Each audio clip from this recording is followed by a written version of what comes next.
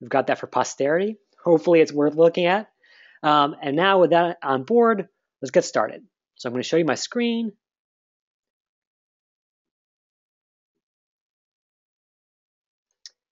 And here we go. So as I said, you know, graduated from Ross 2012. I definitely know what it's like to be in your shoes. So let me now give you a crash course on the PM interview. And I really appreciate everyone taking the time to participate today. I know there's tons going on on campus right now. You know, I've been talking to MBA ones, MBA twos, alumni in the last couple weeks, and it sounds like every tech company under the sun is coming to campus. Everyone's getting their resumes ready. So I really appreciate you guys making the time. Now I'm going to make it really worth your while because unlike the typical MBA presentation, where you sort of sit back passively and let stuff soak in, you're going to have tons of chances to actually practice. That's coming right up. In the meantime, though, let me just give you a little bit of information about myself. So, thanks to Ross, I got a chance to intern on Apple's iOS team back in 2011. And after that, I went to work at LinkedIn full time. I went on to lead growth for VC pack, VC backed startup. And at every point along the way, I was hiring, hiring, hiring. The amazing thing about tech is you go right from being on the one side of the interview table as an applicant, as an interviewee, to the other, being an interviewer, a resume reader. And so I have certainly seen tons of folks come into this world from the MBA background, both in my function, product marketing, as well as in product management. And now I'm happy to say I've been bitten by the entrepreneurial bug out here in Silicon Valley. So I'm running my own startup, which is called Break into Tech.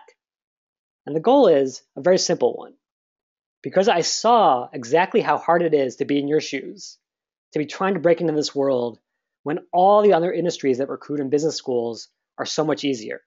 Consulting, finance, CPG, they have this really nice system all down and scientific. Whereas tech, it's kind of on your own, kind of have to figure it out as you go along. So I'm building this site and I'm building this resource to help anyone break into tip, break into tech, no matter your background. And in addition to all that stuff, I actually called on five of my own classmates or recent grads of Ross to help me with today's presentation. Because the awesome thing about Michigan is that so many of its alumni go into tech and specifically into product management. And so, five PMs from recent classes at Ross, from Zynga to Workday to EA, Amazon, and Walmart, all helped me out with their thoughts on the interview process. Now, before we get to what they said, let me go ahead and challenge a key product management assumption. When I first got into the tech world, I assumed the role was just for these guys. You know, the Steves, the Reeds, the Jeffs, those genius innovators that we read about all the time. But the thing is, I couldn't have been more wrong. And here's why. Back when I was at LinkedIn, I saw firsthand, and painfully so, what really makes a great PM. And here's the deal when I was hired, LinkedIn was facing this existential crisis. Even though things were going really well at that moment in time, they realized they had this basic iceberg floating off in the distance about to take down their ship because they had the oldest users in all of social media. The only site with the worst demographic was that sketchy site classmates.com with all those pop up ads. So LinkedIn CEO Jeff Weiner went to my product manager and he said, we've got to get a younger demographic on here. If kids grew up with Twitter or Facebook or Snapchat or Instagram, and those guys ever decide to move into the career space, they could kill us off. They could basically cut off our pipeline of new talent. And the thing is, it seemed like my PM was the perfect PM. Because any single time she went up to the whiteboard, it was like that scene out of A Beautiful Mind. You know, the one where John Nash is going up there and going crazy with equations and drawings and diagrams. Which totally made sense because she had all the right credentials. She had a degree in industrial design from Carnegie Mellon.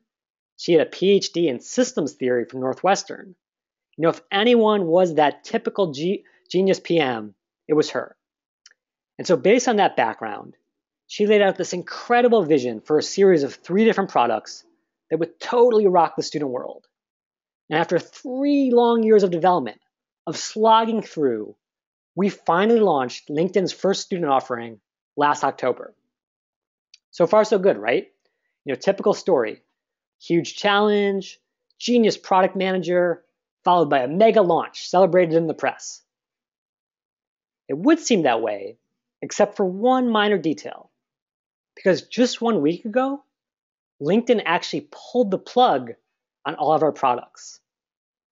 With one single flip of the switch, three years of our lives, the work of 50 people, went right down the drain. And you're probably wondering, you know, Jeremy, how could that be? Didn't that PM do all the right PM stuff? The beautiful vision, the beautiful mind? And the answer is actually no. Because instead of talking to current students and learning about what their pain points were, the PM based the entire product, all three years of our work, on just one student, her own daughter, who just happened to be kind of a beautiful mind genius herself, and who went to school with a bunch of other geniuses and an Olympic sized swimming pool in Palo Alto. So, not exactly a representative sample. And meanwhile, back at the ranch, when the engineers and the designers were duking it out, debating all these features, the PM was actually nowhere to be found because she was too busy rubbing elbows with all these education big shots, going to the Department of Education, hanging out with these thought leaders. And so, even though the project was initially scoped to take just six months, it ended up taking three years. And a project that was supposed to serve all students basically served exactly one. But don't worry, don't feel too bad for LinkedIn, because the story actually has a happy ending, which is that after the original PM resigned, kind of in disgrace, a junior PM, just like you guys, stepped up to take the role. Now, she wasn't a PhD in systems theory, she didn't have a long track record in tech, she just had an MBA. And what she did have, though, were two really important things.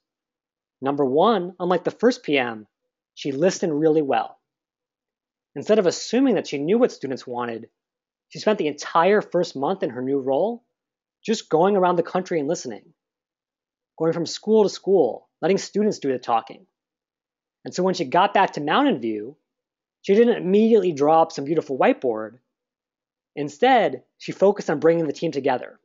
Because as bitterly as they had fought in the past, she wanted them to come together, to collaborate, to brainstorm together, basically become a really cohesive team. She started scheduling team workouts, team events, even making sushi together. And the happy result is that they're actually about to launch their first app in a couple of weeks, a full month ahead of schedule.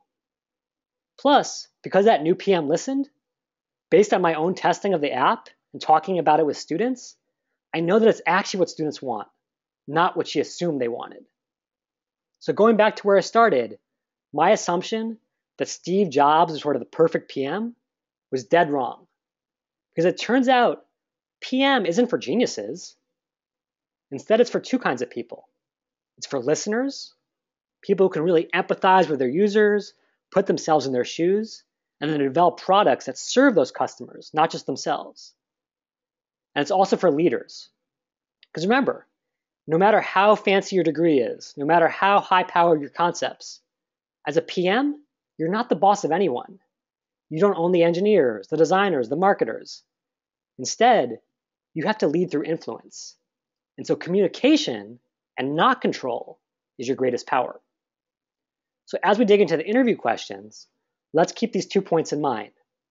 Because in my experience of both interviewing PM candidates in tech and doing tons of mock interviews on campus, these are the biggest stumbling blocks for PM candidates. Okay, so let's get in, let's get into the nitty gritty here. So for the first kind of question, which is everyone's favorite, tell me about yourself. Now, I know this is not specific to PM interviews, but I'm including it here for two reasons. Number one, it's the first impression that you make. The very first time you open your mouth in an interview, and that gut instinct reaction is formed in the interviewer's mind, you got to make sure that you blow it out of the water, not that you stumble into it. But the problem is, in my experience, and when I was in your shoes, I found out that people blow that question more often than not. And here's what I mean. So again, going back to that listening and leading framework that I started with, I think the first major error that I see is not listening to the interviewer, not focusing on what they really asked. Because remember, the interviewer did not ask you to repeat your resume. They've got it sitting right in front of them. And yet, so often I hear stuff like this, and this is just an example, this is not a specific person. Someone will say, you know, I went to undergrad at the University of Iowa, and then I majored in mechanical engineering. First, I worked at Caterpillar as a level two systems engineer, and I was responsible for the DIG 2.0 project. Then I went to John Deere and I was a systems integrator for their automated mowing division. And then I came to Ross. Here I'm a member of the tech club and I coach middle school students.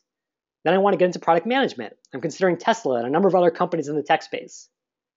The thing is, at this point, even just like 30 or 45 seconds into the pitch, the recruiter or the hiring manager is so bored because you've got that whole resume sitting right there. You don't need someone to replicate it. What I recommend instead, however, is to come in and do something totally different, which is to really focus on being a leader by taking charge and telling a compelling story. Because as JR, the Ross alum PM from Amazon says, storytelling, not technical skills, not genius leadership, is the biggest differentiating factor. And so here's how a really great leader and a really great communicator would tell that story, make it come to life. So they might say, okay, all my life, I've been passionate about building big things. That's why I started my career at Caterpillar, building the biggest construction machines on earth, the ones that literally built the cities of the 20th century. And while I love engineering, my true passion is to design world changing products from start to finish. That's why I've come back to business school, to make sure that I have the strategic and leadership abilities to ship the next amazing products. And that's why I'm especially focused on Tesla, because not only do you guys build massive projects like the Gigafactory, you build products that are going to shape the next century and beyond. And so the reason that that answer succeeds is because even though it starts with the same facts as the first one, it turns them into something interesting a story with a theme, a hero, a deep sense of passion. All right, so that's enough of me talking. Now it's your turn. And we can do this one of two ways, depending on what you prefer. So, first of all, I'm curious if there's anyone who's brave enough to try answering this question right now as a demonstration for the group. Not only is it awesome practice, but you'll get immediate feedback and the whole group will learn really fast as well. So, um, for the folks in the room, if you guys don't mind giving me a call back, I would love to see if there's anyone on the line over there who's brave enough to try this in front of the rest of the group. So, Jason, give me a call at that phone number, please.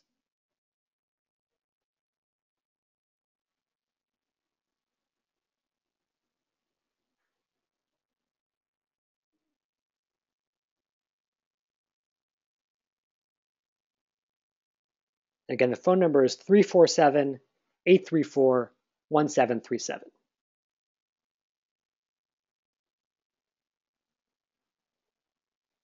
And while Jason's calling in, start to think about how you would explain this based on the framework we talked about. Focusing not on reciting your resume, but on turning your resume into a highlights reel, a story that makes sense. All right, hold on one second here. Hey, Jason. Hey, thanks so much for calling. Do we have someone on the line who's willing to give us a shot?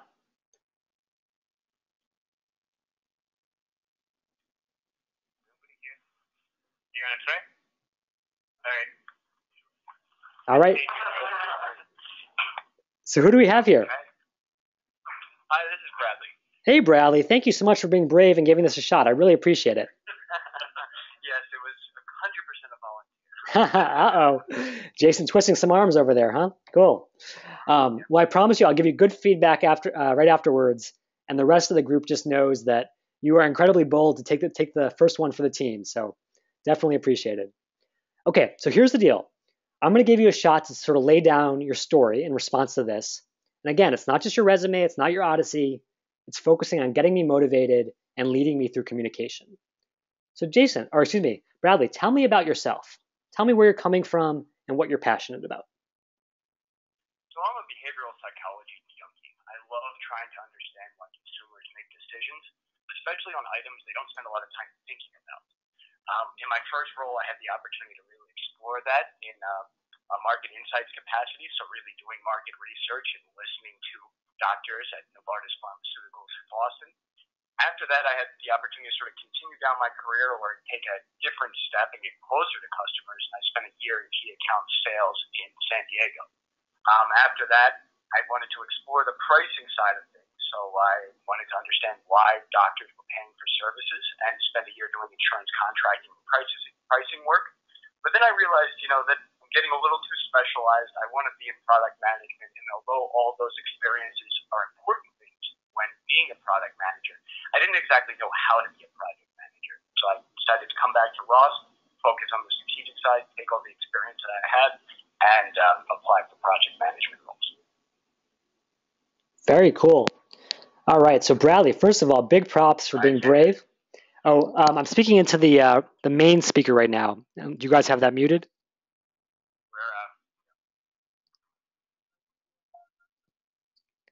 Do you guys have the uh, main speaker live? I just want to make sure the folks on the line can hear. Can you guys hear in the room right now? Okay. So hold on one second.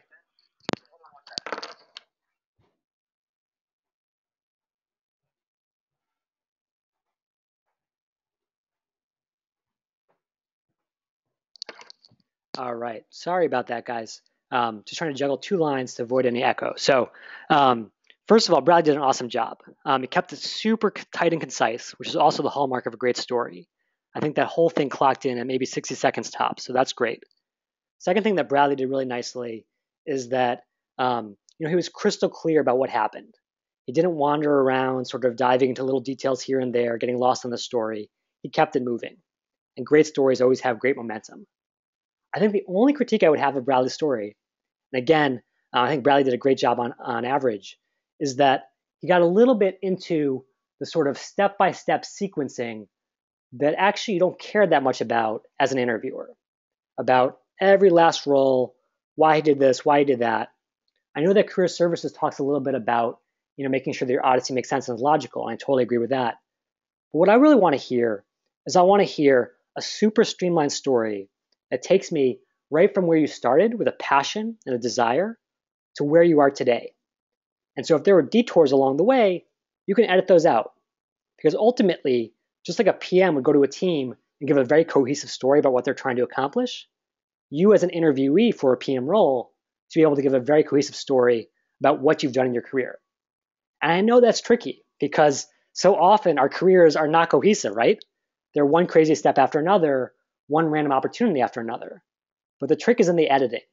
Just like a great Hollywood movie starts with hundreds of hours of footage, and an awesome editor boils it down to 90, sec- 90 minutes of really taut action, you want to take 100 hours of your career and boil it down to 90 seconds of pure action packed storytelling. So great job, Bradley. Um, and remember, as you guys go along here, really try to focus on those two things listening to what the interviewer wants and then leading with great communication, in this case, storytelling. Nice job, Bradley. So now let's move on to the behavioral questions. So these are those famous tell me about a time kind of questions. And you're going to get them all the time in PM uh, interviews and product marketing interviews, basically anywhere you interview in tech.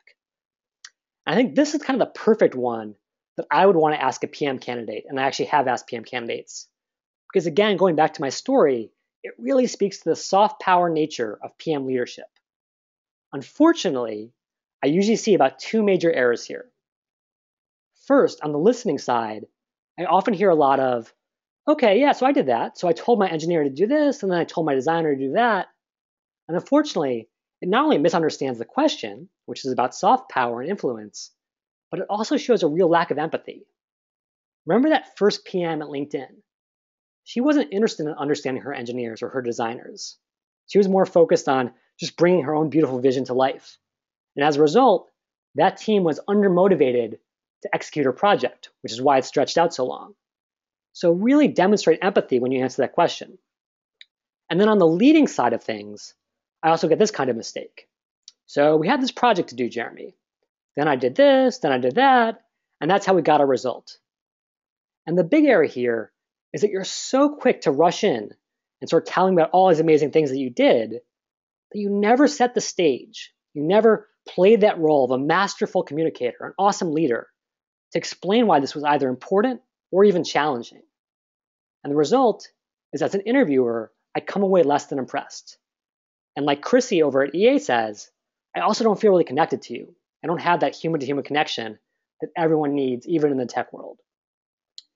So here's an example of a better answer that incorporates both good empathy and stage setting. So here's what you might do using that same Caterpillar example. So the biggest team challenge at Caterpillar was that I was a junior engineer right out of undergrad. And all of a sudden, I was working alongside people with 30 years of experience at a company that's nearly a century old. But one of the first things I realized when I got there was that the company was using this antiquated design technique, and it was costing us millions on each project. Now, I wanted to say something right away, but I knew it would look bad if this young guy comes in and starts rocking the boat in his first week. So instead, I put myself in the shoes of my colleagues, and I realized that the best way to make each person feel like an expert would be to have them buy in individually, not try to pitch them as a group. And so even though it was super labor, labor intensive, I made sure to set up coffee meetings with every single engineer on my team. And that way I could float the ideas by them individually first. That way, the next time that we sat down with the boss in our big team meeting, everyone else ended up proudly pitching my idea because they felt some partial ownership over it. They were excited about it on an individual level. And with that kind of veteran consensus in the room, you know, the boss was totally willing to give it a shot, which ended up saving the company $2 million just in that first year. So obviously, again, theoretical example, but the important thing is, is that you're going to get me excited as an interviewer if you set the stage. And in this case, I can totally imagine this young gun taking on the establishment. I can feel how anxiety provoking that must be that sense of wading into danger, of potentially being seen as this arrogant recent grad. But then you surprise me because instead of getting in a fight, instead of being arrogant, you really understand and inspire your colleagues, which, of course, for our purposes, is the hallmark of a great PM. Okay, so that's that. Now it's your turn. Let's see if there are any volunteers this time, and give me one second while I get the phone set up again. Hold on one moment.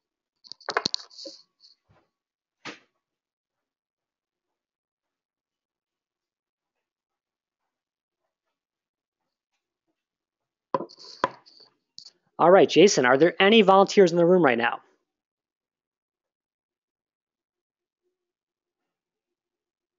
Anyone is willing to give this a shot? Yep.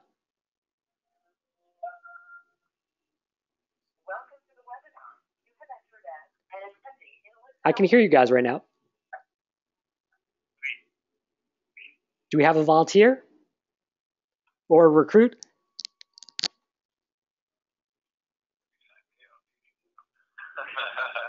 Jason, are you twisting some arms over there? Man, you're already doing influence. Good. Okay, uh, let me take a stab at this. Who's who's who's on the line right now? This is Satish. Satish. Hey, how are you? Good to good to hear from you again. Um, so yeah, um, so Satish, you know, thanks so much for um, thinking about this one with me here. Tell me about a time in your background when you influenced a team not as a boss necessarily, but as an individual contributor who took sort of voluntary leadership and helped lead a team to the right decision. Okay. Uh, before I go on, I want to know like how long you expect this typically to be. Um, in terms of the time length for the answer? Yeah. Yeah, great question. So I think this one has a little bit more leeway than the first question that we tried because now you're really diving into the nitty gritty. It's not so much about telling the sort of broad story as really diving deep on the specific things you did in this very challenging context. So I would say feel free to use up to three minutes so long as you have three minutes of quality substance. Right. Let me start. Uh, while I was working at NVIDIA as a hardware engineer, uh, I was trying to implement a design which would uh, enable NVIDIA to do easier inventory management for their product and this was a hardware change in hardware design. In order to get this design to get successfully implemented, I needed other stakeholders to buy in into this uh, into this design change, which it included uh, the operations team, it included the product engin- engineering team, it included the software development, as well as the other hardware engineering teams. All of them had to agree upon. Uh, but right from the outset, I knew that the software development team had a lot of responsibilities, had a lot of other tasks that they had to do, and they wouldn't sign on because they, in order for this design to, uh, in order for them to accept the design, they have to do a lot of additional work on their end. So one of the things was I, I uh, worked with a, uh, a team across in China in order to come up with a very detailed proposal and a plan of implementation. I discussed with the software development team what they are capable of doing, what uh, what they would not be capable of doing. I listened to them, and then I got an understanding of uh, you know what work should be and uh, how work should be divvied up between the software development team and my own engineering team. And based on that knowledge, I uh, we came, we negotiated, and we came up with a proposal by which the software development team uh, agreed to take upon that task. And uh, after a couple of weeks of such negotiations, we came up with a implementation plan that was mutually agreeable to both of us. The end result, uh, the the design change I originally wanted in uh, wanted in, it is now I think it got implemented in uh, 2012 and it's now in all uh, all chips produced by NVIDIA, which I thought was a big win. Very cool. Hold on one second. All right. So first of all, Satish, big props because that's a tough question to handle, certainly on your own, but especially in front of a crowd. So thank you for taking that on. Um, what I liked about Satish's answer there was that again, just like Bradley before him, even though he had more time to work with, he kept things concise. You know, it just is not going to sort of suit you very well in the interviewer's mind if you're supposed to be this really effective leader as a PM, but you can't even control your own communication. So the fact that he kept it tight, about two minutes, was really strong. I also like the fact that um, he sort of led with this logical sequence from one thing to another. It made sense to me and I could follow along pretty well. Uh, my only sort of constructive criticism for Satish is that I think even though he did a good job of sort of explaining the different actions that he took, he didn't really set the stage quite as viscerally as I would like. Because again, if I'm a recruiter and not necessarily a super technical person, I'm not going to be as engrossed in the technical details. And so if he can really sort of put it into a human drama where I understand, you know, what the stakes were, um, why this was such a big challenge, I might be more bought in and more sort of um, totally captivated by a story if he starts out with something a little bit more engaging at the beginning. But again, that can be worked on. I think he nailed the the middle part as far as sort of walking me through the actions, and he ended with that nice happy ending, which is of course a great conclusion to any story. So nice job, Satish. All right, great job for all the volunteers so far. Now let's go ahead and tackle the really good stuff, product questions. So of course, if you're truly passionate about being a PM, these are the questions that you live for, the ones that you're so excited to take on. But again, just because you've got passion, just because you have excitement, you have to be careful of avoiding a couple of traps. Now, first of all, as much as we all love products, we have to resist the temptation to just give our own knee jerk reactions. You know, the kind of thing that would say, in response to this question of, you know, what should LinkedIn do with its mobile app? You know, I really hate those icons in the mobile, LinkedIn mobile app. Let's start by changing those. You know, they just turn me off so much. Because as Yi from Zynga points out, we've ultimately got to root our decision making in what's good for the customers and the company. So just like a great PM in my LinkedIn example listens to students, a great PM here starts with the user and then works down to what they should actually do. The other thing is, while it's tempting to just cover a bunch of these ideas in sort of a stream of consciousness approach, you know, like first I do this, then I do that, third I would do this one, it's really hard for interviewers to follow that. It just doesn't flow very logically. So again, you can show examples of leadership by leading from the very beginning of your communication. Start with this technique that I call signposting. And here's an example. So if you want to answer this question really well about how you would improve LinkedIn's mobile app, you'd have an answer like this one. So I'm going to tackle this challenge through four steps. First, I'm going to identify who the target users of the product are. Then I'm going to try to nail down what they actually care about. Third, I want to identify any disconnects between what the user's needs are and what the current product offers. And then lastly, I'm going to try to solve those disconnects with specific feature improvements. For example, let's say that salespeople are our main target of the app, since of course they're already power users of LinkedIn and they're always on the go. So if I put myself in the shoes of a salesperson, I can imagine that the main use case is to look up contacts right before a meeting on the road. That way, no matter what meeting I'm walking into, I'm always prepared. Well, in that case, I would guess that one of the biggest disconnects is how hard it is to find people on mobile. You know, maybe I'm walking into the meeting, maybe I'm even driving, God forbid, and I don't always know how to spell my contact's last name, or I don't have time to do lots of searches. And so ultimately, the idea is nice of being able to find people, but the execution is poor. I just can't find the right person right when I need them. So maybe we can solve this disconnect in one of two ways. Number one, maybe we can import the user's calendar So we can auto recommend profiles based on who they're meeting with. So kind of a page out of Google Now where we actually use a little bit of machine learning and a little bit of data importation to serve up the right person at the right time. Or if we're not going to do that, we can just add more fuzzy logic to our mobile search, just like Google does. So even if you don't spell the name right, we can still intuit who you're looking for based on close matches. And so, of course, that's a very simple example, but for your purposes, guys, it's a good example of signposting. That classic debate technique, if you've been watching any of the political debates, which is spelling out the steps for the interviewer so they can follow along. They have that mental scorecard in their head and they can check off step one, step two, step three, I got it. And of course, if you're going to do that, you also have to always bring it back to the user. Their needs are more important than your own. So now it's your turn. Now, I've already given you the LinkedIn challenge, so let me give you guys a new one so my answer doesn't bias you. And let's see if there are any volunteers to take this one on. So hold on one second here.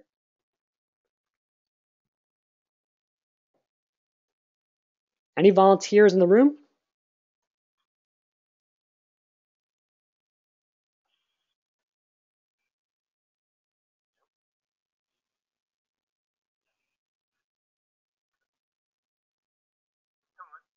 Uh-oh. I hear I hear a little wheeling and dealing on campus going on.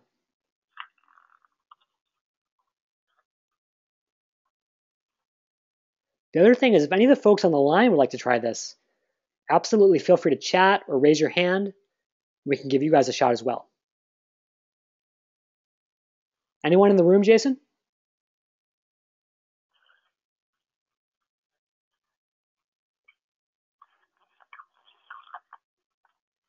All right, hold on one second. I'm just going to put the presentation on pause for a moment so I can see if anyone's raising their hand.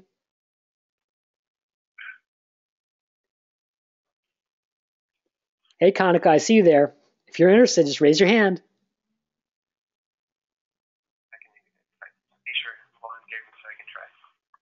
Do we have do we have a willing uh, participant here? Yeah, yeah. Well, I, I got volunteered by someone else too, but I'll, I'll give it a shot. Who's this? Um, my name is Adi. Hi, Adi. How are you? I'm good. How are you? Thank you so much for, um, if not volunteering, at least being willing to be volunteered. So I appreciate that. Yeah, being, being pushed over the, the cliff. um, okay, so right, let me let me set it up for you. So I'll give you a second to sort of think about it. Um, and the other thing I should note is you guys should always feel free to leverage the goodwill of the interviewer because these guys actually want you to see you succeed and say, hey, just give me a second. Let me outline my thoughts. Because as smart as PMs have to be, no one expects you to come up with a genius product on the spot. Instead, what they really expect is world class preparation followed by world class communication. So if you want to take a minute to get your thoughts together, that's totally fine. But while you do that, let me just throw it out again. You know, there are all these products floating, floating around the valley and around the world these days. Everyone's finding cool stuff on product hunts and all over the place. Tell me, Adi, about an example in your mind of a poorly designed product and then the specific steps you would take to improve it. Absolutely. Um, so one that comes to mind is uh, Google's charting application uh, that they offer to Google uh, Docs and Google Apps. Um, when I think about how users are trying to use that, they're often trying to demonstrate certain flows and certain dynamics of how processes are taking place within their companies or within their systems or in various different contexts.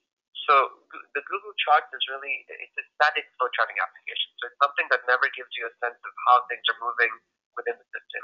So whenever you're trying to use that to create a design or, or communicate that design, it doesn't show you where you are and where you're trying to go.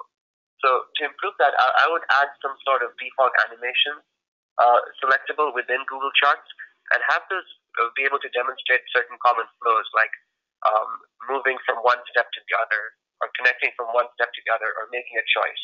That way, as both the designer as well as the viewer, it's very easy for me to, to communicate, to, to make the communication that I need, as well as to understand and to ingest the information that the uh, designer is trying to communicate. Cool. Anything else you want to add in terms of, you know, how you would go about figuring out the right way to implement that or the right way to test it? Absolutely. So first thing is I, w- I would try to understand what is the purpose of using that product. Uh, try to find out what are the common use cases and try to see what what what is the, the designer trying to communicate. Um, and then I also understand what they're trying to do right now. Like what are their workarounds for trying to get this particular job done. Um, and then based on that, I would try to extrapolate into what can we add to the base product in order to really allow those users to communicate what they're trying to do. Great, great. All right, I'm gonna put my phone on mute here. I'm gonna answer for the whole group. All right, so first of all, again, thank you to Adi. Probably the most difficult challenge so far. So I appreciate your bravery in taking it on, or at least being volunteered. Um, and so I think Adi did a fine job given that, you know, it's only November and you guys have tons of time to practice. But I do think that he fell into a couple of traps there, which is that number one, I didn't hear a lot of focus on who the users are. So personally, I'm actually not that familiar with the Google charting product. I have no clue what it does, and even though he gave a little bit of description, he didn't give me a sense of who it's for. Is it for businesses? Is it for end users? What kind of people in particular are using it? That would have again showed that sort of consumer orientation that we look for in product managers, even on the enterprise side. Because even in an enterprise, you still have to peel back the layers of bureaucracy and say, who's going to use this product at the end of the day? And then I think the other trap that I mentioned is that, um, again, it's tempting to go right into features because we're all end users ourselves. And so we say, oh, I hate this thing about Snapchat or I hate this thing about Google. Plus. But the trick is for a recruiter or for a hiring manager who's interviewing you, they're not so much focused on the answer because there really is no right answer. What they're focused on is the process. They want to see how logical is your mind? How analytically can you pick things apart step by step as opposed to jumping to the right answer? And I say right answer in quotes because again, you know, tech is full of shades of gray. If you just show up to a meeting as a product manager and say, "Hey, we're going to do this," like the first PM did at LinkedIn, you're going to get a lot of pushback because people are going to have their own gut instincts. And so the much more effective way to lead is through clear logical communication. Here's how I'm thinking about this problem. Let's test those assumptions. Are we making progress? Are we getting closer to serving our customers? And so if Adi had laid out a bit of a, um, the steps and the framework that he was going to use to solve this problem before diving into the solution, that would have helped me follow his flow and be impressed by his logical nature. So again, big props to Adi for giving it a shot. But just like I mentioned in my setup, really focus on the end user first and foremost. That should be your North Star. And then once you have them in mind, really set up a logical framework one, two, three, four that you want to go through before you dive into the answer. And if that involves taking a little bit of time to set up, so be it. The recruiter would rather hear you be your best than hear you be the fastest. All right, now it's time for the best part of all, which is, of course, estimation questions. So the good news is these questions are no longer so crazy as they used to be.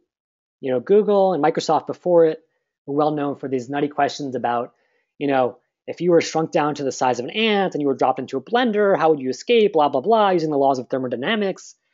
And the thing is, um, Google's own SVP of talent has recently posted on the New York Times that all of their own internal testing shows there's no correlation between solving crazy sort of brain teasers like those and being a good engineer or a good PM or good whatever. What they do want to make sure, though, is going back to that last challenge with Adi, that at the end of the day, you at least have the analytical chops and the analytical approach to life where you can take a challenge and pick it apart step by step. Not so much can you solve a crazy brain teaser, but can you at least be very, very sequenced in your thinking and prove that to them? So, once again, in this particular case, how many windows are in New York City? The secret is not about getting the right answer, it's about how you get it. Which means that lots of folks are going to lose out right in the first minute because they're not listening. And so they rush to find that answer, which means that they totally botch the process. For example, in this situation, you might assume that the interviewer is focused on buildings, when in fact she also wants to know about subway windows or car windows or even glass displays at the Bronx Zoo. And then the corollary of that is if you want to make sure that you're headed in the right direction, constantly lead, constantly engage and communicate with the interviewer by throwing out these trial balloons. So that way you're not missing anything obvious. So here's an example of how you might do that for this case. So here's, um, here's the approach I would take. So before I begin, I just want to confirm that you only want traditional building windows. Is that correct? Okay, good. So knowing that, here's how I'd approach this. I'm going to start with the assumption that there are three main categories of windows in New York. Residential, offices, and retail. The other ones, like the car windows, we're keeping them out of them based on what you just shared. So obviously there are going to be outliers in the building space like libraries that might not fit into one of those categories, but would you say it's a fair assumption to sort of throw out the outliers and focus on those three categories residential, office, and retail? Cool. Okay. So let's calculate each of those separately. For residential, I'm going to round up a little bit and say there are about 10 million people living in New York. And again, when you when you say New York, you mean just the city, right? Not the whole metro area with Long Island and New Jersey and all that. Good. Okay. And it seems like the vast majority of those live in apartments, from everything I've heard. So based on my experience living in two-person apartments, I usually have about six windows. I would say that's what I've had in Ann Arbor and the Bay Area. And if I use that as a logical assumption, let's say that there are three residential windows per, per person, or about 30 million residential windows total. Again, three per person, 10 million people living in the city limits, 30 million residential windows. So that's that. Let's move on to offices. So a lot of folks commute into New York every day. And I'm going to assume that in the working day, between 9 to 5, Monday to Friday, the population of New York actually swells to about 30 million, because I've heard that the metro area something around that. And so, um, you know, would you say that's sort of fair, like that 30 million figure? Okay, good, good. So again, in my experience, there are probably about three workers per window when you factor in the palatial offices of bosses versus the cubes that most people work in. And so let's say that there are about 10 million office windows across the city um, based on that ratio. Again, 30 million office workers, three workers per window leads us to about 10 million office windows. And sort of testing that assumption, I know that there's a much lower ratio uh, than for residential, but it seems like you just don't need as much natural light because you're going to have all those overhead fluorescent lights that are really terrible. And you're also going to have a need for efficiency um, as a company. So that's where I sort of feel that figure um, turns out nicely. And lastly, it's hard to know just how many retail locations there are, but let's say that it's roughly about one third of the space in New York, just sort of dividing on average. In that case, if we figure that retail is probably better window than office space, because you have to have nice natural light and good aesthetics, but fewer than homes, because again, you need some kind of efficiency here. Let's average the two, so residential versus office, and say that there are actually 20 million retail windows. So again, 30 million residential windows, 10 million office windows, 20 million retail windows. Sum that all up, gives us 60 million in all.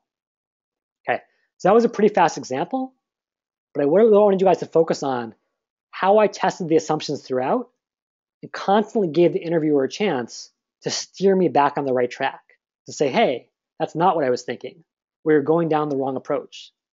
Because, like JR says, the really critical thing to do, again, being empath- empathic here, is to put yourself into the interviewer's shoes. Try interviewing your classmates as much as you can, as well as doing mock interviews.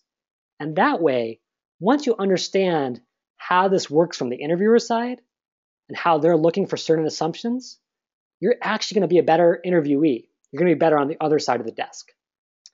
So now it's time for you guys to give it a shot. So I know this is a massive question here. How many queries per second does Gmail get? But again, please remember those key takeaways. This is not about getting the right answer. This is about your process. And you're certainly not alone here because you have me as the interviewer on your side to answer any questions and to push back on any incorrect, incorrect assumptions. So let's see if there are any folks either on the line or in the room who are willing to take this one on.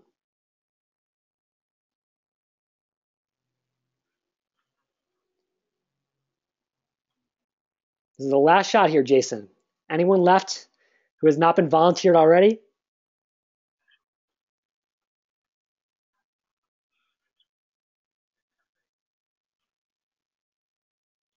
And of course, if you're on the line and listening and willing to give it a shot, just raise your hand, and I'm happy to do it live with you as well.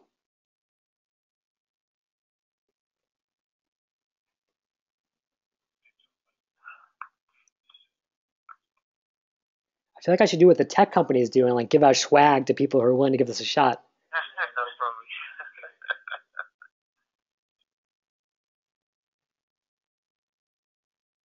All right, let's do it this way. Because not everyone has had a chance to participate, let's actually have everyone break up into pairs and you guys can practice on your own. And so that way, at the end of this, everyone will have had at least one shot to do a little bit of practice. So what I'm going to do now is I'm going to let you guys break into pairs. And on my screen, I'm going to put on a timer. So that way, you can actually get a sense of sort of the time limits that you're up against. So please break up into pairs right now. Again, there's no judgment here. We're all just practicing as friends. And spend um, about three minutes trying to take it on. Um, first, the first person will go, and then the second person will go. All right? So hold on one second. I'm going to put myself on mute here.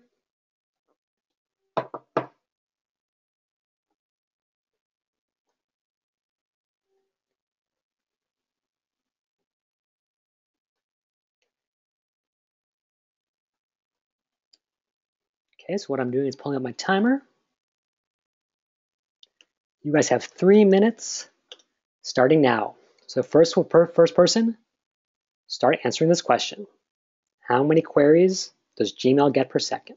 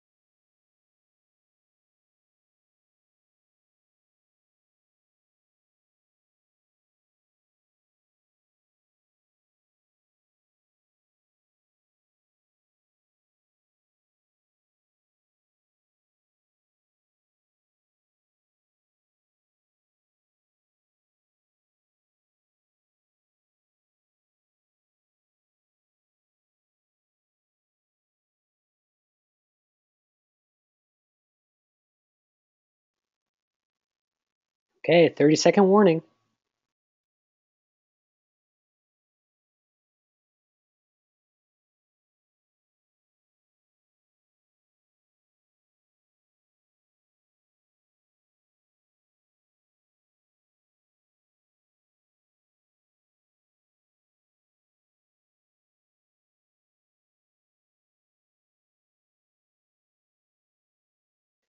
Okay, time's up.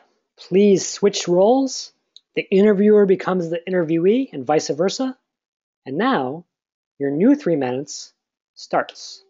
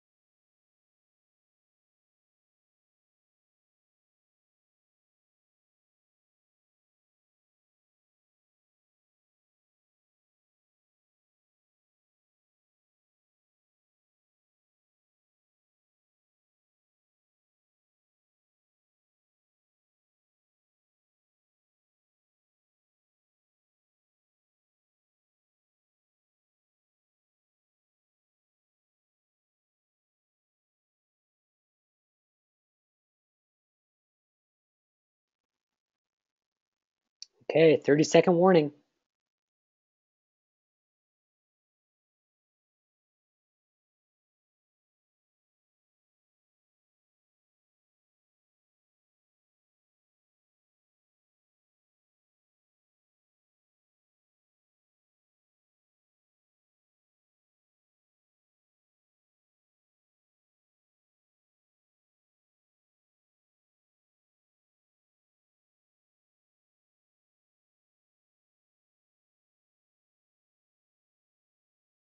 All right, time's up. So, um, thanks everyone for uh, gamely pairing up and taking on this challenge here. Um, I feel bad not to allow time for feedback, but I do want to wrap things up on time. So please make sure that you have a chance to chat with your partner afterwards for tips on organization, testing assumptions, approaches, etc. Um, that said, just to finish up here, I want to leave you with a couple final thoughts. Before I do that, any questions? Um, Anyone in the room, feel free to just chat up. Anyone online, feel free to chat right through the GoToWebinar tool. Yeah, Yeah, so the question is basically if we run into an estimation problem where math gets too complicated to do in head.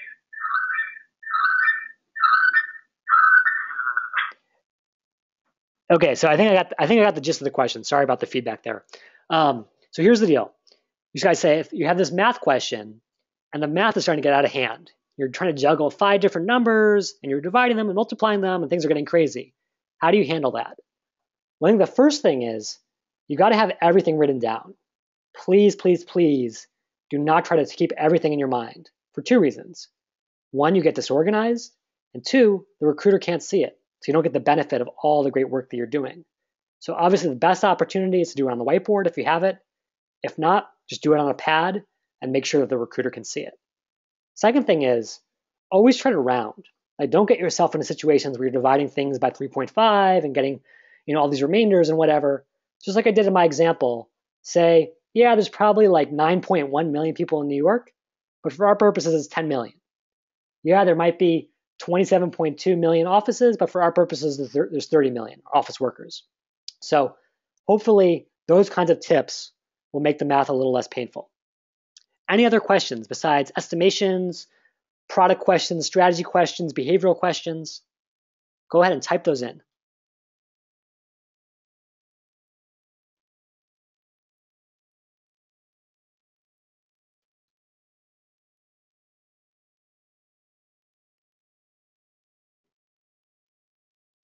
All right, I think Jason is saying that was the last question. So of course, let me just leave you with a couple final thoughts here. So, um, just to wrap up, let's bring it back to our framework. So, just like in my story at LinkedIn, your success in this world is not about being an egomaniacal genius, not by being a Steve Jobs or even the PM that I had at LinkedIn. Instead, it's much less about genius, much less about technical skills, than it is the simple act of listening and leading. Number one, can you understand your customers? And number two, can you lead your teammates through great world class communication? So take a piece of advice from every single Ross PM that I spoke to, from Zynga all the way to Walmart.com. Practice those two concepts big time. Practice listening, focusing on what the interviewer wants, and most importantly, what customers want. Lead by being organized, by giving clear signals to the recruiter or the interviewer where you're headed, and by getting them invested by setting the stage through juicy storytelling.